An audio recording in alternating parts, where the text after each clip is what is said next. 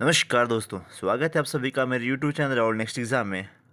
तो दोस्तों, आज की वीडियो बनाने का मेरा मकसद ये है कि मैं आपको बता सकूँ कि आपके एग्ज़ाम जो है किस तरह से भरे जाते हैं, ओके? तो एचपीयू ने अभी आप हाल ही में नोटिस निकाला था दो दो दिन पहले कि पीजी और जितने भी डिप्लोमा कोर्सेज हैं एचपीयू के अंडर उनके फ़र्स्ट सेमेस्टर के एग्ज़ामिनेशन जो हैं वो फेब फेब में होंगे और इनको जो है अपना अपना एग्जामिनेशन फॉर्म जो थर्टी फ़र्स्ट जनवरी से पहले सबमिट जो हो करवाना है। ओके? लेकिन मेरा मकसद आपको ये भी बताना है यहाँ पे कि जो बच्चे फॉर एग्जांपल मैं बात कर रहा हूँ कि जो बच्चे अदर यूनिवर्सिटीज़ यूनिवर्सिटीज़ में पहले पढ़ते थे तो उनका वहाँ पर रजिस्ट्रेशन नंबर जो था वो बिल्कुल अलग होता था।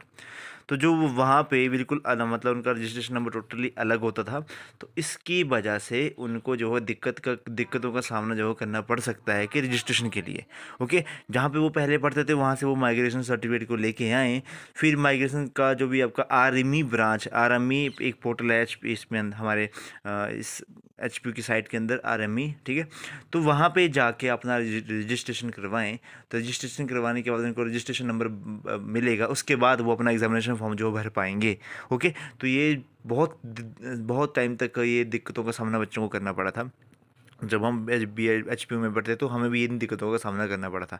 लेकिन हमारे टाइम पे कोविड की सिचुएशन थी तो थोड़ा सा हमें बोला था कि कोई बात नहीं, अगर आप नेक्स्ट सेमेस्टर में भी दे, देंगे तो कोई इशू नहीं होगा। लेकिन अब इसके बाद जितने भी हमारे बैचेस बैठे उनको यही कहा गया कि आपको जो है वो पहले रजिस्ट्रेशन नंबर जो है वो सबमिट करवाना पड़ेगा। उसके बाद ही आपका एप्लीकेशन फॉर्म जो है सबमिट होगा एग्जामिनेशन फॉर्म जो है सबमिट होगा। तो जितने भी हमारे अभ्यर्थी हैं, उनको बहुत दिक्कतों का सामना जो करना पड़ा था।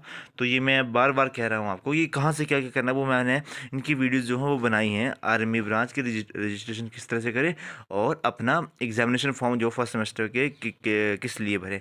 बीएड वालों के लिए तो मैंने स्पेसिफिकली जो है वो फॉर्म किस तरह से भरना है एग्जामिनेशन फॉर्म वो मैंने बहुत अच्छे तरीके से बताया है। रजिस्ट्रेशन की वीडियो जो है वो हर कोई देख सकता है क्योंकि रजिस्ट्रेशन की जो प्रक्रिया है वो तो सबके लिए जो है वो सेम ही रहने वाली है। ओके तो मैं भी आपको दिखा देता हूँ कि किस किस तरह से क्या क्या होगा।